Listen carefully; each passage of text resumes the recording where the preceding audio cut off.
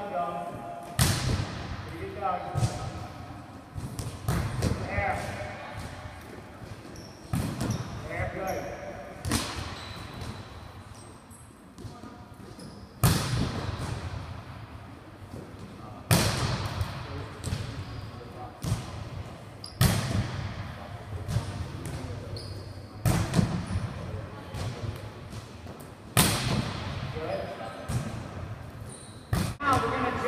You guys stand side side right here.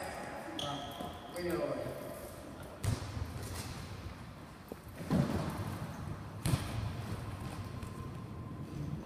Normally when you attack, you have three options. You have the line taken away from you. You have the line taken away from you, which gives you cross court. You have the cross court taken away from you. Or you go this way which gives you line. Or you have a split block, which gives you a seam or a hole in the block. Here's what you guys are going to do. The ball's going to be tossed up in the air. You guys are either going to block line together, you're going to block cross together, you're going to open up a seam.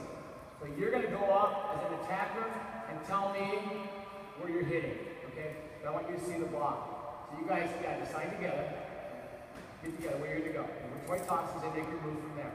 Okay, ready, go. Okay, you gotta move his ball. He's he tosses the. Okay, I don't want them to see where you're going.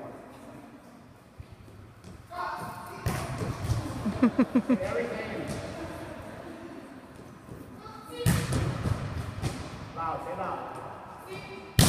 Ah, kicker.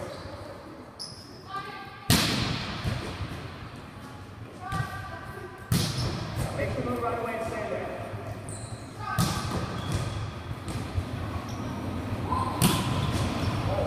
Nothing holds the shot. Good. Good.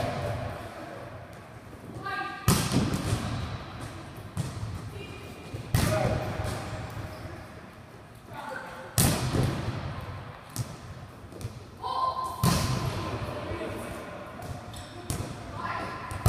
Have a new shot. It's called a hole shot. Good.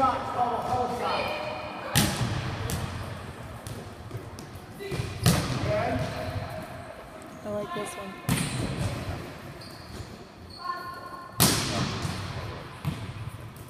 Yeah.